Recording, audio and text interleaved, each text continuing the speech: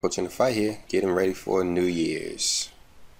Of course, man celebrated his New Year's celebration months ago in the middle of winter, no doubt. But according to the sacred calendar, according to the Father's calendar, the original calendar, a calendar that we used before man started making calendars, New Year's starts in the spring, in the first month of spring. Now you can look up in your encyclopedia how man changed the calendar when he first created his calendar. He had his started in the spring as well. But man wanted to create a disconnect between his calendar and the Father's calendar. So one of the things that he did was he moved the beginning of the year back to January. He also made the weeks 10 days long, but he changed those back, thank the Father. And of course, he took all of the holy days off of the calendar and replaced them with holidays. But we'll save that for another class. In this class, we want to talk about the sacred new year and what it means. And to do so, we're going to go down through the King James Version of the Bible and look for what occurred on the first day of the first month. Now, of course, we're talking about the lunar months, which start with the new moon after the spring equinox. Now, don't think that the new year starts with the equinox. No, on the sacred calendars, months starts with new moons. That's even where the word month came from, like month.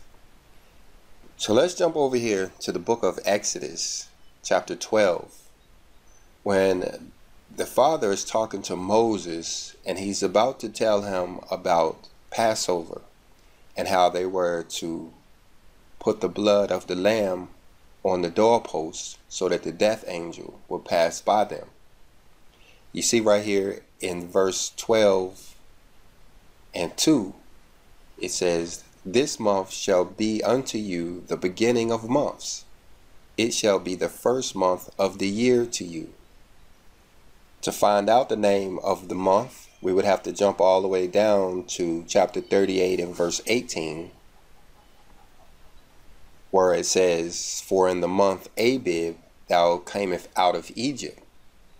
And we know that they came out of Egypt during Passover. But the first month goes by other names as well, including Nisan or Nisan. You may hear it called sometimes they're getting that from the book Esther, where it says, in the first month, that is the month Nisan. Now, the first month was called by other names as well throughout the scripture, as the children of Israel went into foreign lands and foreign nations and spoke foreign languages. But don't be confused, they're all talking about the first lunar month on the Hebrew calendar. Now, to see the first time that the phrase first month is listed in the Bible, you will start in Genesis chapter 8 and 13, talking about Noah. It says, In the first month, in the first day of the month, the waters were dried up from off the earth. And Noah removed the covering of the ark, and looked, and behold, the face of the ground was dry. This is after Noah had been on that ark for months. He was on the ark for over a year as the earth was flooded for about that time. But it was in the first month, on the first day of the first month, that the land was dried up. It was on the first day of the first month that Noah was able to remove the covering from off the ark. Now, if you look at my Enoch calendar that I have on the wall, I have the verses with all of these dates written on that calendar because I believe that these dates have spiritual meanings and that on the first day of the first month, the spiritual waters will be dried up from our spiritual earth.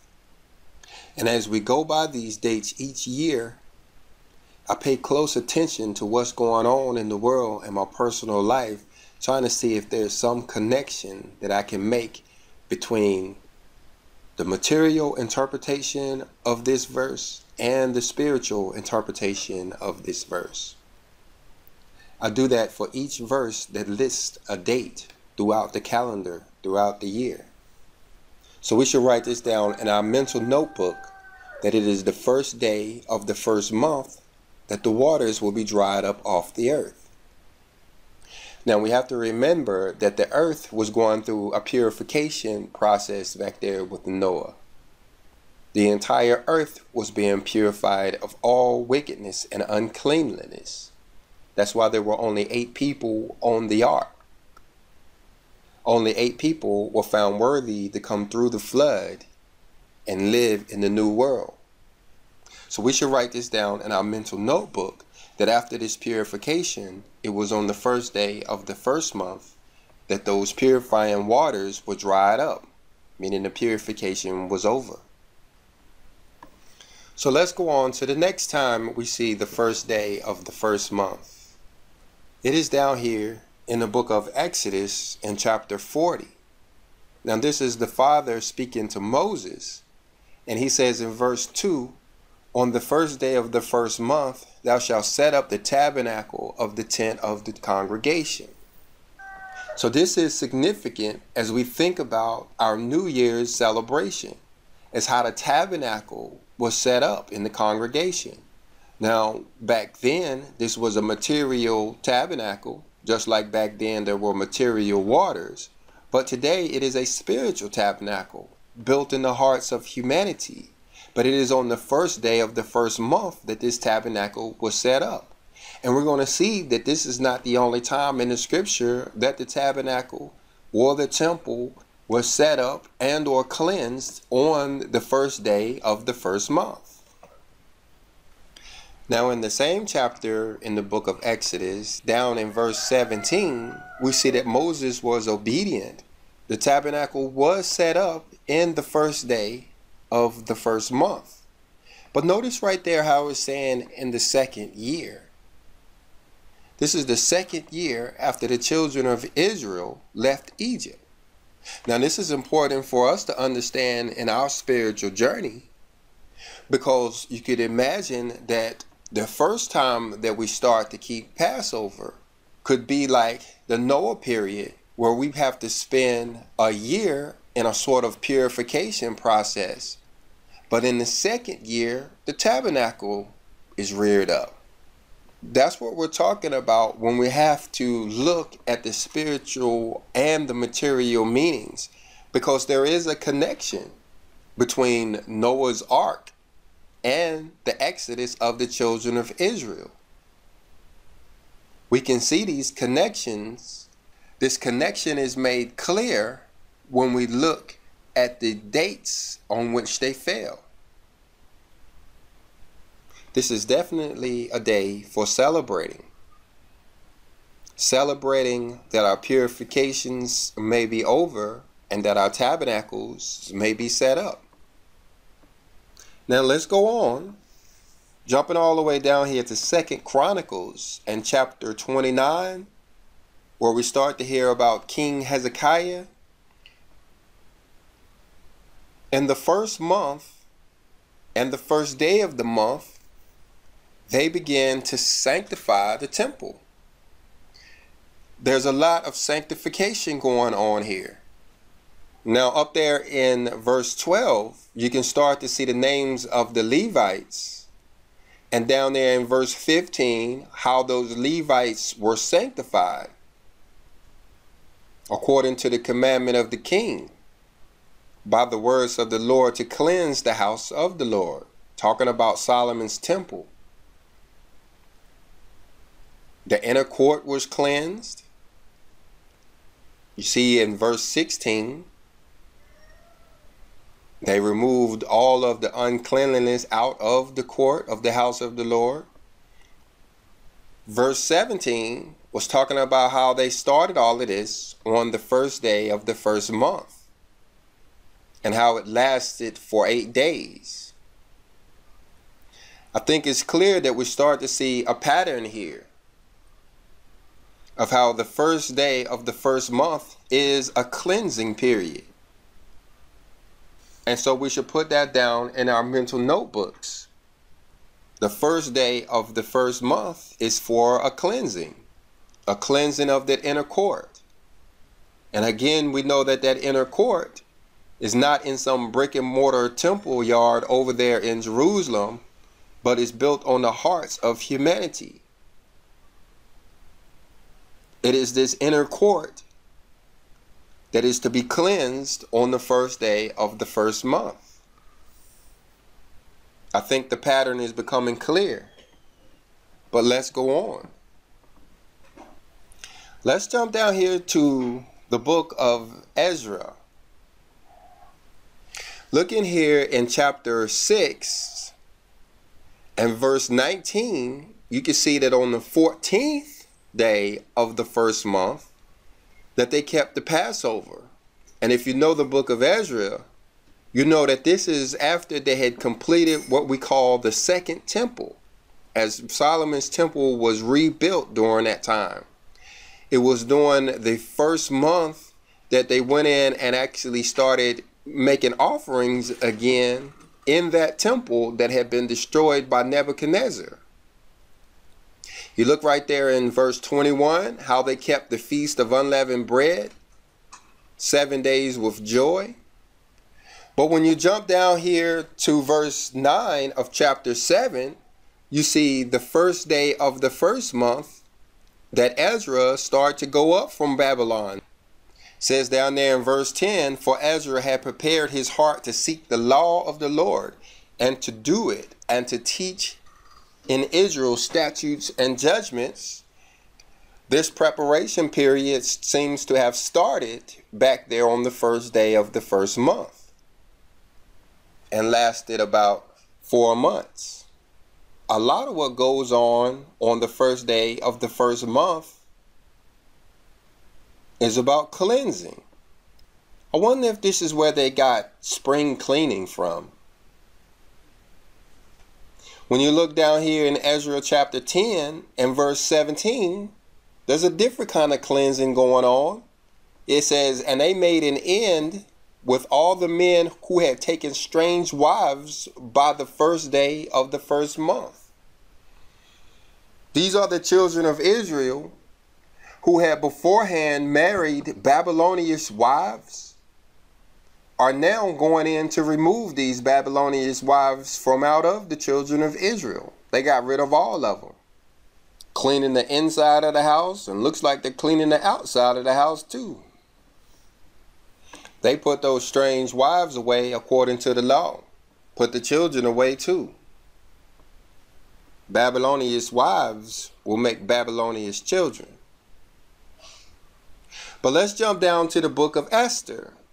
And we see a different kind of cleansing going on by a guy named Haman. Now, Haman wanted to be important in the kingdom of Ahasuerus. But when Mordecai, a child of Israel, would not bow down to Haman, Haman became distraught and sought out not only to kill Mordecai, but to destroy all the Jews that were throughout the whole kingdom. You look at verse 7 after chapter 3, it says, In the first month, that is the month Nisan, in the 12th year of King Ahasuerus, they cast Pur. That is the lot before Haman from day to day, and from month to month to the 12th month, that is the month Adar. And verse 8 tells you how Haman went to King Ahasuerus and said, There is a certain people scattered abroad and dispersed among the people in all the provinces of the kingdom, and their laws are diverse from all the people, neither keep they the king's laws. Therefore, it is not for the king's profit to suffer them.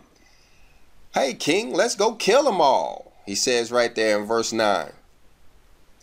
Verse 9 said, If it please the king, let it be written that they may be destroyed. And you can see in verse 9 how he wanted to pay a thousand talents of silver to the people that destroyed the temple, that destroyed the children of Israel, that killed all of the Jews out of the kingdom. He was planning on purifying the kingdom of all of the children of Israel. But if you remember the story of the book of Esther, how Queen Esther changed the king's heart And it wasn't the Jews that were destroyed, but it was all of the people that hated the Jews that were destroyed. And that's why some Jewish people celebrate Purim to this day. Because of this cleansing process that started on the first day of the first month by the hands of Haman was changed to a different kind of purification by the hands of the Lord. Now, I'm a student of the word just like you are. And in all of these classes, I learned something.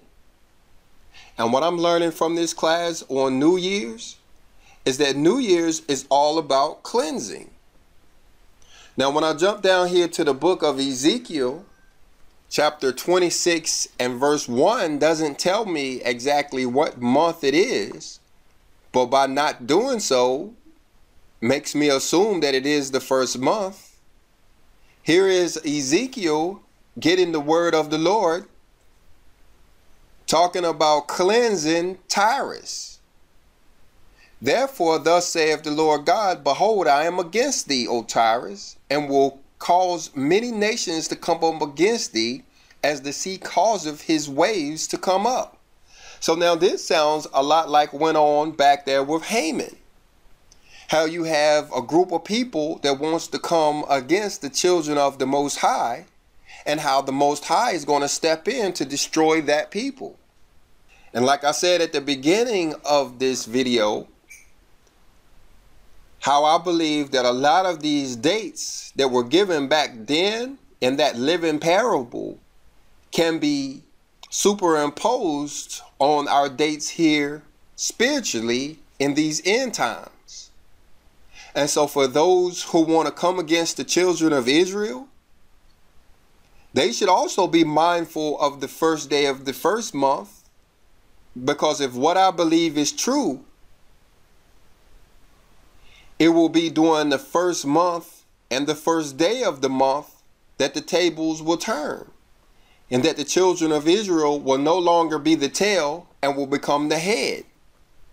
Now, down here in the same book, Ezekiel chapter 29 and 17, I think confirms that the word of the Lord came to Ezekiel in the first month and the first day of the month because down here, we're also getting another word of the Lord that's coming to Ezekiel in the first month and in the first day of the month.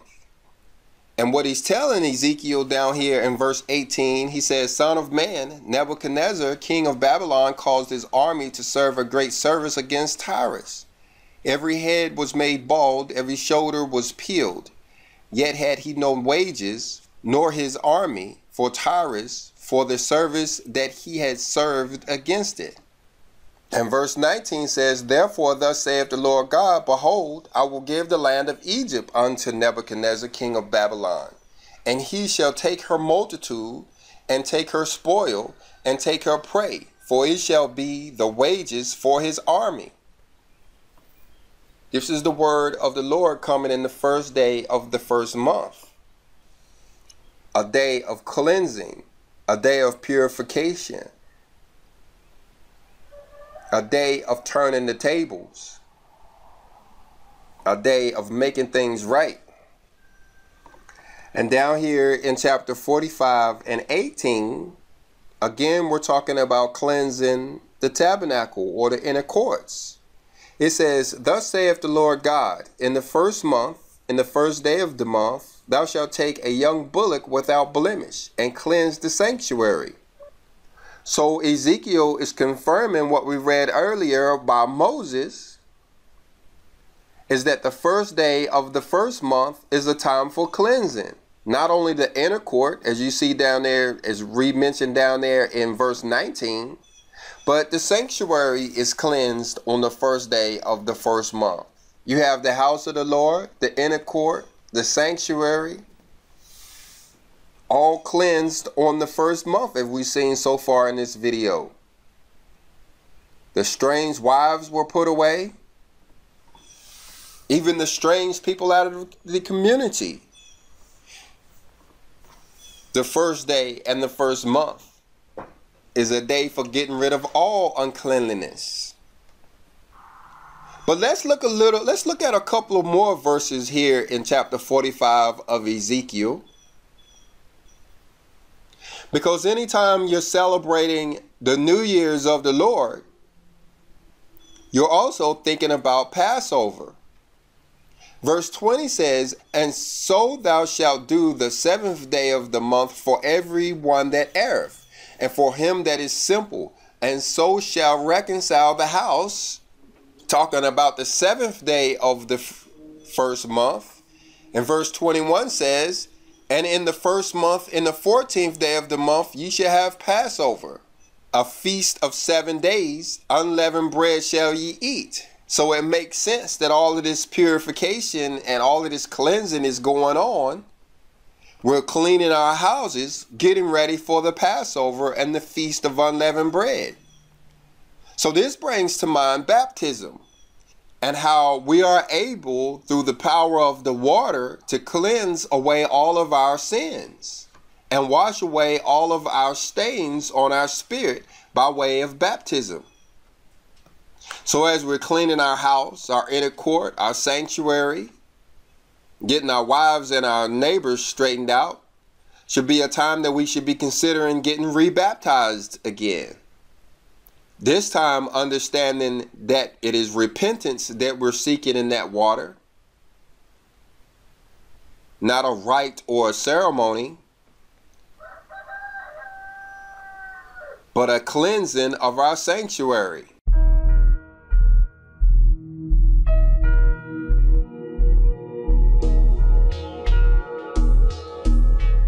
All right, so as I said earlier, I'm a student of the word, just like you. The difference is I study on YouTube, so everybody can see my Bible studies in this class was quite surprising to learn how much the first day of the first month has to do with cleansing. So let's talk more on cleansing. We understand that the way that we cleanse the tabernacle is through baptism. So let's step down through here and look at a few verses associated with baptism. All right, now I'm over here in Matthew chapter 3 and verse 11. He says, I indeed baptize you with water unto repentance. But he that cometh after me is mightier than I, whose shoes I am not worthy to bear. He shall baptize you with the Holy Ghost and with fire. This is John the Baptist speaking here, speaking about the Messiah. John the Baptist is telling that the people of Judea and Jerusalem, the whole town came out to be baptized by him how this baptism, which seems that John the Baptist invented, it was through that water with a repentant heart that all of the previous sins that had been committed by the individual were able to be washed away and cleansed away. Now, I stress this because many of us weren't taught this when we were baptized the first time. I know I wasn't when they broke those two inches of ice off of that pool back there in 1987, nobody told me it had anything to do with repentance. What I understood is that because I had eaten communion without being baptized, I was getting somebody, probably myself, in trouble. Not once did I understood that I was being baptized unto repentance in fact, I went out the very next day and did the same things that I'd been doing the days before. So I dirtied myself up and squandered my repentance. That's why I had to get baptized again. But notice right here where he says that there is one that comes after him that shall baptize with fire. This is the true baptism, the baptism by fire. But don't be confused. There's some who will try to separate the water and the fire. No, the baptism by fire comes by way of the water. You have to have the water in order to be baptized by the fire. The water is to the body as the fire is to the spirit. To say that the water cleans your body as that fire cleans your spirit, but they go hand in hand. Now, you look right here in the book of Luke in chapter 3, and it appears as though John the Baptist is refusing to baptize people who did not realize that they were supposed to have a repentant heart. You look up there in verse 7, he says, O generation of vipers, who has warned you to flee from the wrath to come?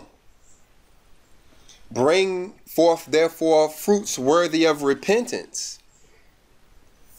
It seems as though John the Baptist is sending these guys away and tell them to become repentful. Don't be doing this for vanity's sake because that's not what it's about. Now, for some hearing this, they're going to believe that you can only be baptized in a church. Well, I don't believe that requirement was of the scripture because when you look at Matthew chapter 28 and verse 19, he says, Go ye therefore and teach all nations, baptizing them in the name of the Father and of the Son and of the Holy Ghost.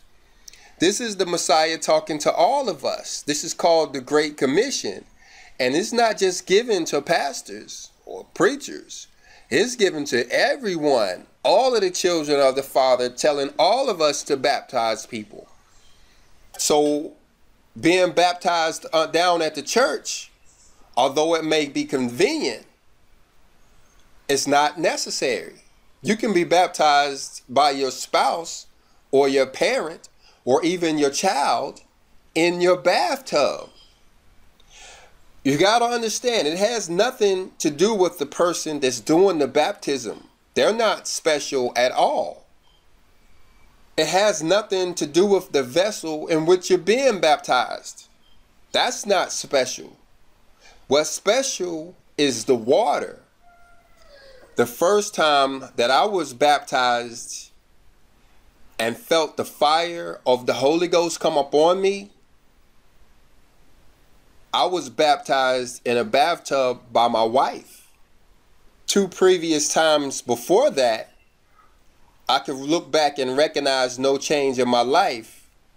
But that third time that I was baptized by my wife in the bathtub, was a true turning point in my life as I could point to an overwhelming spirit of wisdom that took over my life from that point on.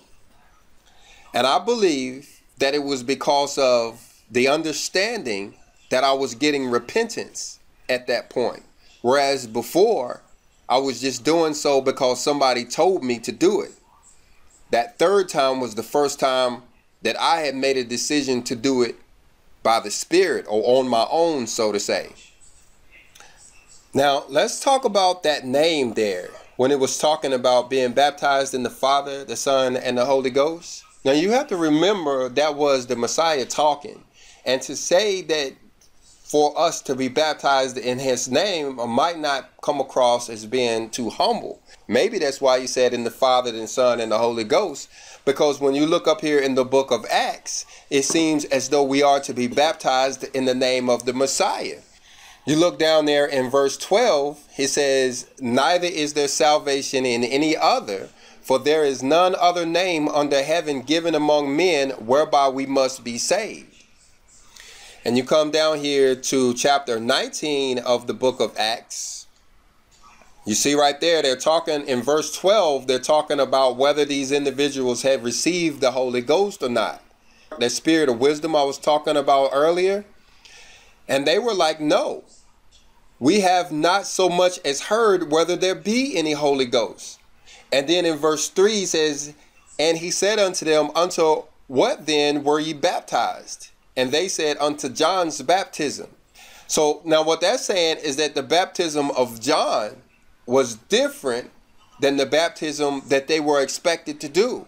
All of these individuals were baptized not only by John, but by the disciples of the Messiah, who would have carried on the same baptism as, the, as John.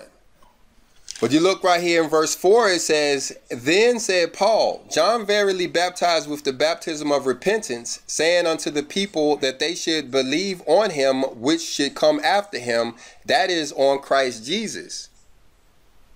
When they heard this, says verse 5, when they heard this, they were baptized in the name of the Lord Jesus. So no longer were they being baptized in the name of the Father, Son, and the Holy Ghost, but they were being baptized in the name of the Messiah. And then after the fact, you see down there in verse 6, and when Paul had laid his hands upon them, the Holy Ghost came on them, and they spake with tongues and prophesied. Now, I mentioned it that third time that I was baptized by my wife in the bathtub. That was another significant change in from the previous two baptisms, is that I was baptized in the name of the Messiah. Now, back then, I was still calling him Jesus which lends to the idea that it is the understanding of who we are being baptized in. But there are many people today who will be getting baptized in the name Yehoshua HaMashiach. They will be baptized in the name of Yeshua. They will be getting baptized in the name of Yasun, if you understand the Greek, and various other names. But my point is, is that they're being baptized in the name of the Messiah which in my life and according to the scripture makes a difference. And so that may be another reason why we should all be considering getting baptized again, making sure that we are all baptized in the right name, making sure we all get this Holy Ghost being talked about in Acts chapter 19. We look here in Acts chapter 2 and verse 38 how Peter said unto them, Repent and be baptized every one of you in the name of Jesus Christ for the remission of sins, and ye shall receive the gift of the Holy Ghost. It is through this baptism that we receive the Holy Ghost. Now, there's a lot of ministers out there who will argue differently. They will say that you don't have to get baptized, that there's no need to get baptized. And they'll sit there in a congregation full of people and explain to them through sermon after sermon how it is so unnecessary for them to be baptized. But then when you ask them, okay, were you baptized? They'll say yes. Now that reminds me of the Catholic Church. I went to a Catholic church one time and they was having communion and I noticed that when it came time for the wine, it was only the priest who got to drink the wine, while the people in the pews didn't get any of the wine. And that's similar to what's happening when a person tells you that you don't need to be baptized. They're taking of the repentance and telling you that you don't need that repentance. So in essence, they are they have ensured that they have the Holy Ghost, but they don't care whether you get it or not. So don't be fooled when somebody tells you that you don't have to be baptized. They may be trying to trick you. Down here in chapter 8 and verse 16, making a relationship between the Holy Ghost, you see in verse 15, and being baptized in the name of the Messiah there in, in verse 16 down here at 19 talking about how they were baptized in the name of the messiah and uh, how they received the holy ghost down there in uh, verse 6 the the reasons for being baptized again are piling up one we may have been baptized in the wrong name Two, we may not have received this Holy Ghost or this spirit of wisdom or the, the this comforting spirit that we were promised. Three, we were, did not have a repentant heart. Or four, we have somehow soiled ourselves since we got baptized the first time, and probably five or six other reasons that I can't think of right now on how the reasons for getting rebaptized are starting to outweigh the ones to not be baptized again. Now, Jumping down here in the book of Galatians and chapter 3, we can make the understanding that baptism is the token of the new covenant. The same way back there with Abraham, in order to be in the Abrahamic covenant, you have to be circumcised. In order to be in the Mosaic covenant, you have to keep the feast days. In order to be in the covenant of the Messiah, you have to be baptized. You see right there in 27, he says, For as many of you as have been baptized into Christ have put on Christ. Meaning we are the children of God by faith in Christ. You see right there 28, he says, There is neither Jew nor Greek, there is neither bond nor free, there is neither male nor female, for ye are all in Christ Jesus, once we have been baptized in his name. Baptism is the token of that covenant. We jump down here to First Peter chapter 3 and 21. It says, The like figure whereunto even baptism does also now save us not the putting away of the filth of the flesh, but the answer of a good conscience toward God by the resurrection of Jesus Christ. We are saved through baptism.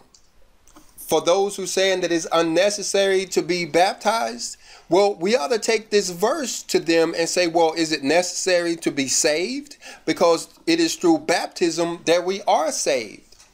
Now, notice that part right there. It says, but the answer of a good conscience towards God. Now, see, to understand what's going on there, when we think about baptism and what's going on there, how baptism saves us, well, you heard the story of how we're all sinners come short of the glory of God. That's talking about how we have all broken his commandments and have done bad stuff in the past according to his commandments and according to his rules, especially those of us who were always taught by the church that we weren't supposed to keep the rules in the first place that they were antiquated and for those people long time ago and they didn't keep them and there's no need for us to try to keep them. Well, we didn't even try to keep those rules at all. Well, by breaking those rules, we created stains on our spirit and imbalances in the universe that we now have to pay for. That's why the world is going through this huge purification process is because we all have a lot of making up to do. Well, through baptism and repentance, we actually wash away those sins that were on our spirit before. And once our spirit is clean, we can become spiritualized individuals again and start to hear our conscience.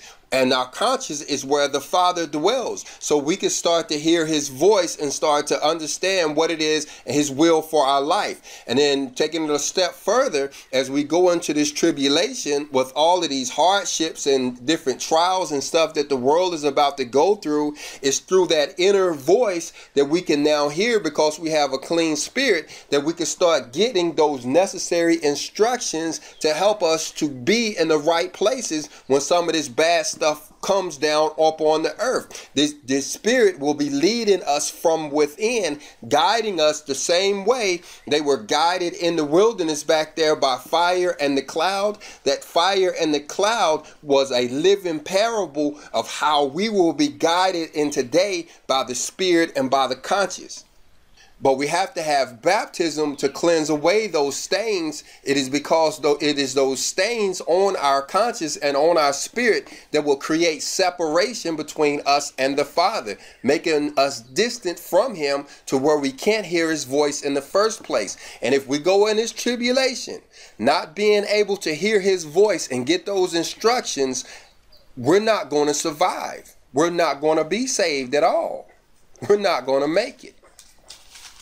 If you can't hear the Father's voice, your, the only other voices that you can listen to are the voices of man or voices of the government, voices of the television. And none of those voices are going to be able to guide you through the tribulation. But let me jump over here to the book of the Shepherd of Hermas because it has some important information on baptism over here. Now, if you aren't familiar with the book of the Shepherd of Hermas, you can find a link to it down there in the description.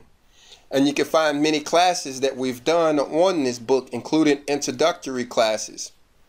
But I want to jump over here to the second book of the Shepherd of Hermas called Commands. And I want to look in Command 4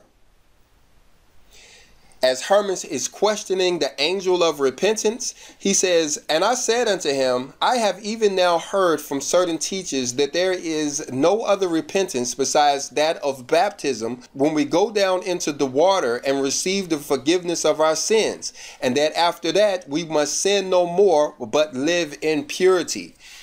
So Hermas is wanting confirmation from what he's heard is that there is no other repentance besides that of baptism and how baptism cleanses away our sins, how we receive forgiveness of our sins through that baptism and have to and how we have to go on to sin no more but live in purity. Now, Hermas seems to have a little bit of concern about this as if somehow he's messed up and not lived in this state of purity since the first time he was baptized. And so the angel goes on to tell him right there in verse 19,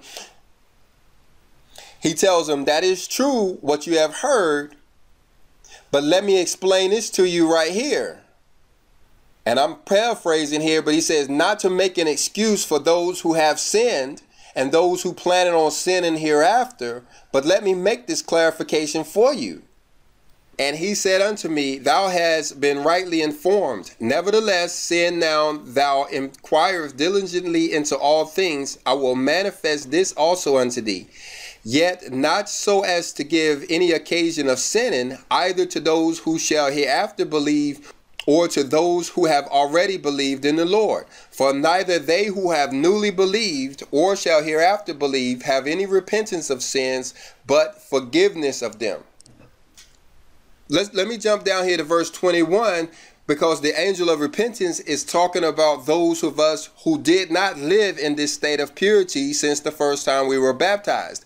It says, But as to those who have been called to the faith, and since that are fallen into any gross sin, the Lord has appointed repentance, because God knoweth the thoughts of all men's heart and their infirmities, and the manifold wickedness of the devil, who is always contriving against the servants of God and maliciously lays snares for them. So this is a this is a difference between those of us who have to get baptized again and those who've got baptized the first time. Now, the way I'm understanding this is when it, when you baptize the first time, you get forgiveness of sins. Forgiveness of sins meaning you don't have to pay them back. But once we've messed up that first baptism and have stained our spirit again like the majority of us have done, we get repentance of sins. And it says that the Lord has made this provision for us because the Father knows the hearts of man, their infirmities, and the manifold wickedness of the devil, who is always contriving something against the servants of God. So the Father knows how it is for us, and so He's given us the opportunity to be baptized again. We should take advantage of that. You look down here in the third book of the Shepherd of Hermas called Similitudes. This is Similitudes 9. Look here at verse 154. He says, Now that seal is the water of baptism, into which men go down under the obligation of death, but come up appointed unto life.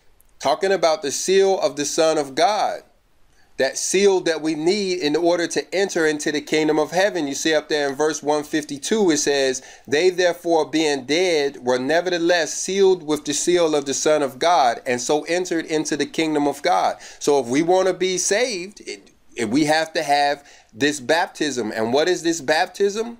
If we want to be saved, we have to have the seal of God or the seal of the Son of God. And what is this seal? This seal is baptism. Baptism is the seal.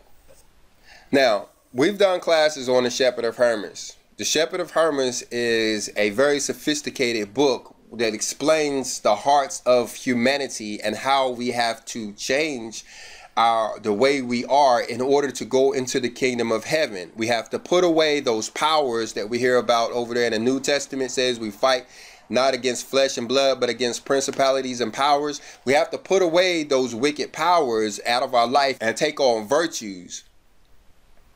Well, in this book, the vision that Hermas saw was putting all of humanity in the form of stones. Each one of us was depicted as a different stone with different flaws and such.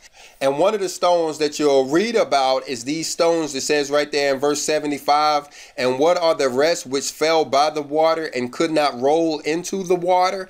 He says, they are such as have heard the word of God and were willing to be baptized in the name of the Lord, but considering the great holiness which the truth requires, have withdrawn themselves and walked again after wicked lust. Talking about the people who refused to be baptized. These are people who considered the great holiness with the truth required and decided they didn't want to live in that truth. They would rather live in wickedness and they went again after their wicked lusts. These will be of us who refuse to be baptized again as well. We're, we're going after our wicked lusts, and the only way we can be cleansed of those of that wickedness is through baptism. And instead of being baptized again and living clean, we rather just go on and live dirty. But whatever we decide to do, it is New Year's. This is a New Year's celebration a time for celebrating a new year. Getting off to a clean start maybe should be the theme. But our primary goal should be the purification of our sanctuary, cleaning out that inner court, making ourselves ready for the temple of God to fall upon mankind. Talking about New Year's, the real New Year's. Shalom.